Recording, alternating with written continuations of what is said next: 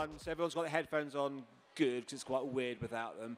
I can see lots of people without headphones. You're very naughty, but hopefully you'll be okay. So my name is Justin Pearse. I'm the editor of New Digital Age. Uh, I'm joined by the amazing Lydia Oakes, who's MD of Bluestripe Communications, and the amazing Justin Reid, who's a media director at TripAdvisor.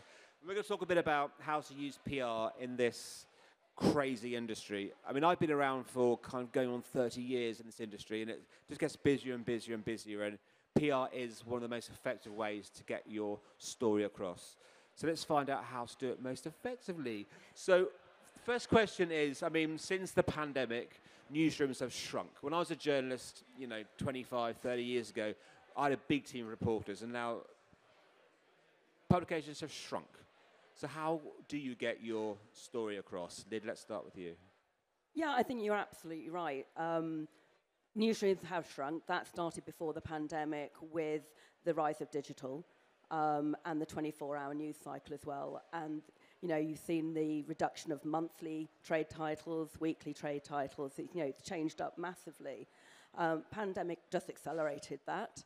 Um, so I think it really comes down to one fundamental thing, and that is storytelling. Um, you know, we chat to a lot of clients and you know prospects, and they say, you know, we're unique. Um, no one's unique. No one's unique. Um, there is a lot of noise, that, and you need to cut through that noise. Um, journalists have a finite amount of time. Their inboxes are ridiculous. So you have to be able to know your own story to then be able to communicate that.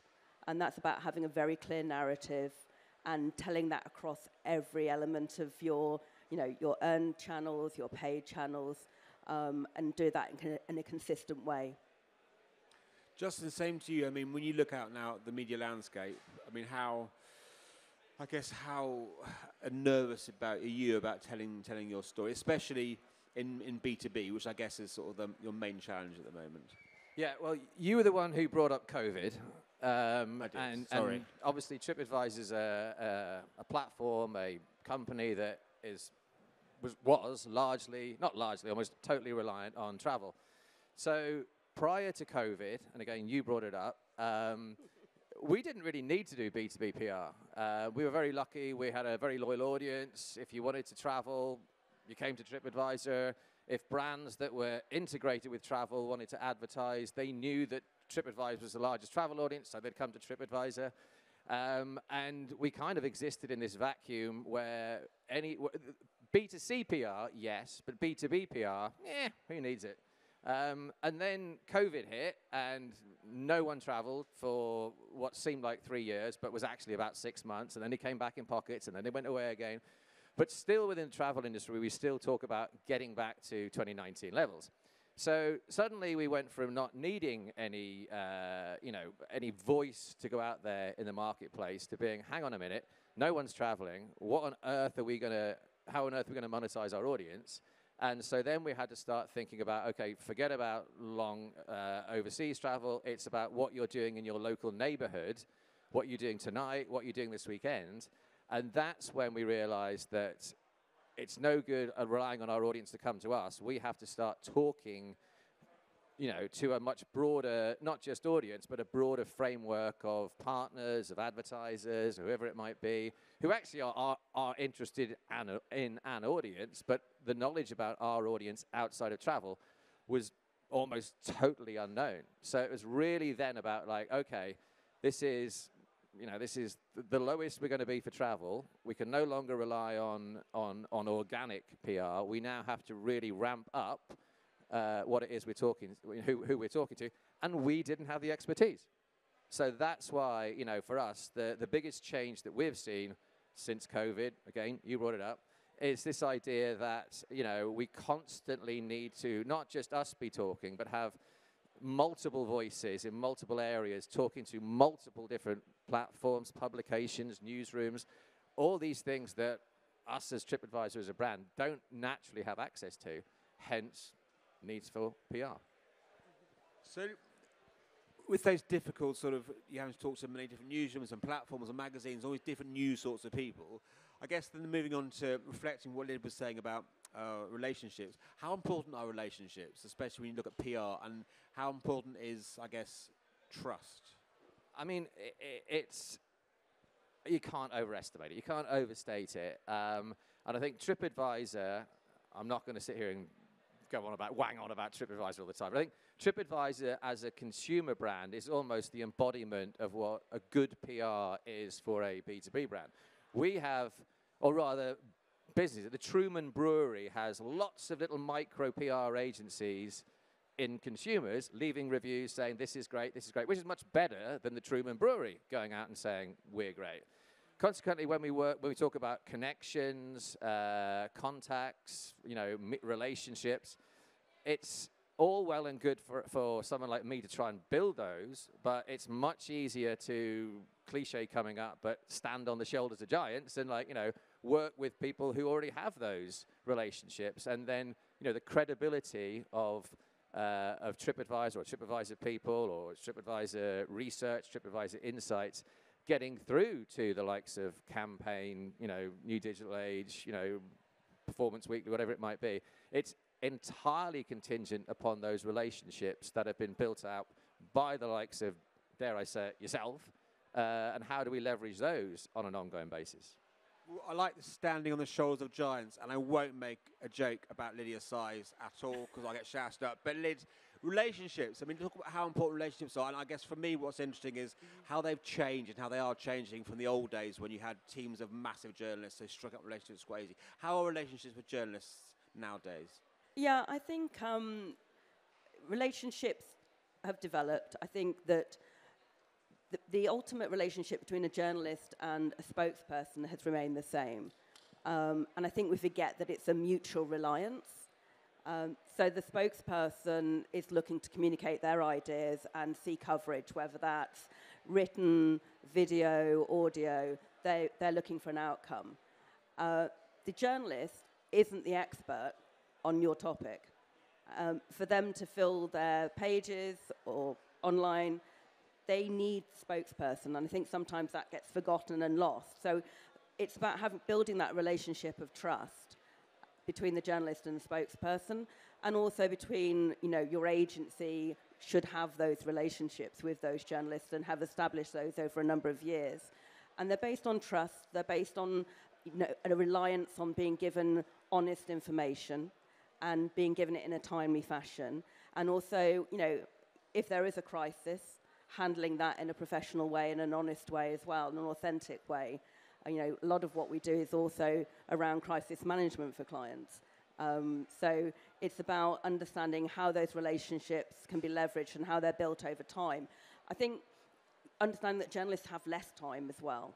So when you are talking to them, make it work, make it, make it matter, you know, and that there's an old adage about kind of junior PRs ringing up constantly saying, have you got my press release? Have you read my press release? Will you be covering my press release? You know, you cannot miss, you cannot abuse a journalist's time like that. It, it's just, they don't have that. And they're not going to answer you. They're not going to pick up the phone. So it's about establishing mutual respect um, and building a relationship. And understanding also, journalists don't have to cover you. No, that's a good point. And I think, yeah, I remember watching you in Cannes, was it last week, very recently, dealing with a PR crisis. And it is about that relationship and trust. I know when I was sort of starting off, I'd find the people I trust and I'd talk to them first when I was building a story. But let's talk a bit about uh, events, because PR can run across many different trade publications, events, and online, social. Uh, events like MadFest, one of the highlights of the year for me. How, does, how do events play into an overall PR strategy? And Justin, what's your view? What's the role of events like Matt or Cannes or? Um, it's interesting because it's coming. We're coming off the back of Cannes, which was last week, which is for me. I've, I've, I'm, despite my age, I've only been there three times. Uh, the last three years, and every year it seems to be something different. We get something different out of it. But I would summarize this, and I'm not paid to. I'm definitely not paid to say this, but like I think that you can condense the best of a week in Cannes into a day at Madfest. And I think it's that notion that uh, if you really want to condense in your important meetings, you know, getting on the stage, uh, you know, to talk to talk to an audience like this, you're probably actually talking more directly than would you at one of the litany events that are on the. I always call it the croissant. It's not the croissant. It's the Was That sounds good. Yes, We'll yeah. alo- along the front kind of thing, where so much of it is about having a bit of branding up, uh, putting on an event, and the only people there are the people you know th- who work for you, kind of thing. So I think it's the it's definitely events are. Um, it's it's all about the quality and the qual- not just the quality of the audience, the quality of the time you can spend with people in the audience and get across, you know, what your message uh, is. And quite often, especially since we're talking about PR, the best, um, not to sound too cynical, but the best PR outcome, you know, you, you well, maybe not you, or maybe not you, but Viking knows is like, oh, did you see that guy from TripAdvisor? Yeah, no, just simply something as small as that as saying, oh, do you remember, don't I remember name? Oh, TripAdvisor on the stage at MadFest. That is a huge PR win. So I think things like that are, you know, really the test of what, what, what these kind of events are. Totally agree. Lyd, well, I mean, with, with your clients, how do events like MadFest fit into the strategy? I think they're hugely important. I think, you know, PR sometimes is equated to media relations. Um, it's actually, you know, much larger than that. And it's about supporting your marketing strategy. There's no point in having a marketing strategy going in one direction and a PR strategy going in the opposite.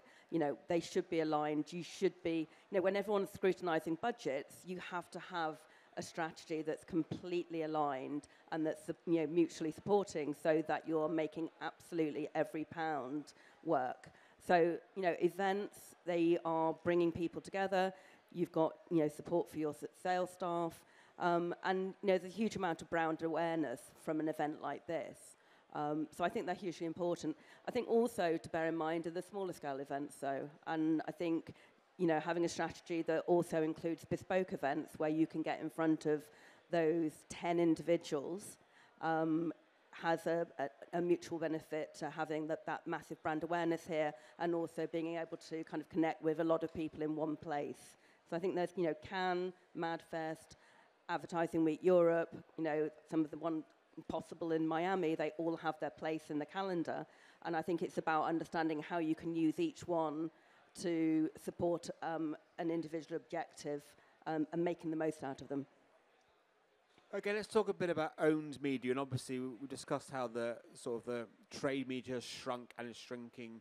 Uh, and nowadays, brands can very easily create their own media using sort of social media channels or, or online channels or whatever they want. But Justin, do you see owned media as a way to communicate with audiences? Yeah, but it, it's it's obviously it's part of you know own media on its own won't get you where you need to be because you're back into the don't shout, start talking, uh, you know about PR. And if all if if your entire you know B two B messaging relies on you saying we're doing this, we're doing this, we're doing this, we're back to the stone age of of you know travel reviews, for instance. You know, uh, so I would I, I'd look at you know B2B messaging, own platforms in the same way that a hotel or restaurant or attraction would have looked at their messaging in 2000. It's not enough to say, we are doing this. You need other people to say, they are doing that. And I think uh, that's where, you know, we can have a message that we want to put out, but it has of course it has so much more authenticity if it's coming in a trade publication or in a you know a press release that gets picked up in, in multiple areas or even just simply uh, if you think of the micro brand of you know brand Justin or brand Lydia you know a a B2B website saying we're doing this is one thing but an individual within that company not just cutting and pasting the corporate message but putting their own personal feel on it and posting that in LinkedIn that's like a micro you know, a micro self PR agency, which I think is quite important to like, you know, get away from this. Nothing depresses me more. Actually, no, there's lots of things depress me more, but like one of the things that does depress me is when you see a company, and we do it, we're guilty of it, is uh, oh, put out this message, right? About, you know, we're releasing something or we're doing a new partnership, and suddenly you go into your LinkedIn feed, and every single person from TripAdvisor has posted the same thing. And that to me just looks like spam. That's not authentic, that's not engaging, that's not, uh, that's not talking, that literally is shouting. So, you know, put your own personal spin on your corporate message by all means, but don't just, you know, regurgitate it, spit it out because we're back to shouting, not talking. Yeah, really good point. I mean, Lyd, how do you work with clients to ensure that it is authentic and engaging, but it's their own owned media? I think it's uh, very much um, working with them from the beginning, looking at their messaging and going through a messaging process um, where we can actually determine what those core messages are and then create a narrative around it. You know, we talked about storytelling right at the beginning. That's where that is um, created and refined. And then it's about how do we um, get that out through different channels. But I think the authentic part of it is the really important one. You've got to be able to stand up that story. You've got to be able to back it up with examples and illustrate it with client case studies and all of the materials um, and be able to go out and talk about it consistently. Now, that doesn't mean parrot fashion, as, um, as Justin was saying. Um, it's about having your own tone of voice as well. Um, it, it's incredible, you know, we, we've got thousands of, of brands here today. You know, having an individual voice is incredibly important. Otherwise, why should I work with one company over another? So, you know, a lot of what, you know, especially in the ad tech sector, um, a lot of what, you know, people are doing is quite similar. You know, and it's why would I work with company A over company B? It's going to be about what they're saying is resonating with me and their tone of voice resonates with me. So it's about developing that narrative and that individual tone of voice and bringing the whole company along. Um, you know, not parrot fashion, but having those individual you know, ambassadors, each of them um, has a, a, an opportunity to be amplifying your messages, um, but they need to add their own, own spin to that. Now, we've only got four minutes left. Let's try and get this tough question into four minutes. How do you measure PR? That's often the criticism is how do you measure it? You can measure on advertising, but how do you measure PR? Justin, quickly, you've got two minutes. How do you measure it? Uh, how do you measure you start off with your PR plan and you work out, you track everything basically. So you track every single conversation. I liken it to, uh, oh, what cliche can I use? Throwing a stone in a pond. and you don't quite know where that ripple is going to end up. That ripple could, uh, you know, your stone or skimming a stone, shall we say. So you skim a stone, it could just plop, and that's it. But you know, it might create a little bit of impact. But that's that stone that you skim across the water might suddenly hit one publication, another publication, another publication, another publication, and all these things ripple out, ripple out, ripple out.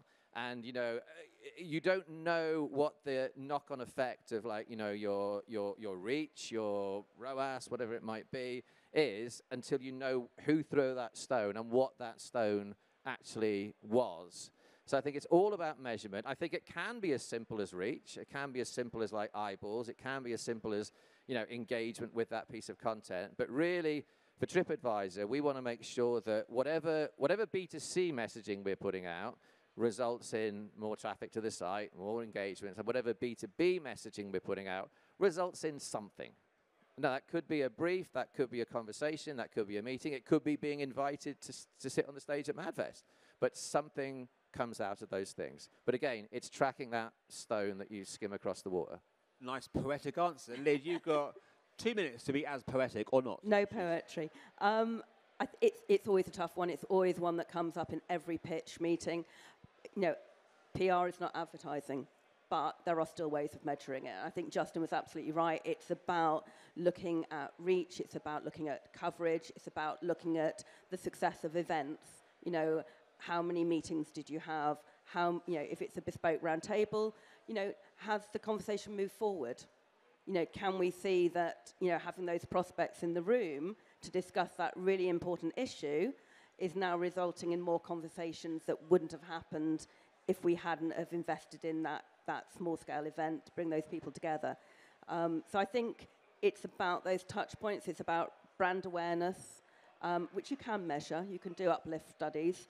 Um, and it's about looking at those that customer journey and those opportunities to engage, whether it's with coverage, an event, um, viewing an award, you know, seeing you at an award ceremony, picking up an award, whatever it might be across that PR mix. I think there's always opportunities to measure and demonstrate value. Excellent answers. Thank you so much. Well, that's it. We're up against time, but both Bluestripe with Lydia and TripAdvisor with Justin have got booze, so go and meet them afterwards. Thank you so much. You've both been amazing. Thank you so much.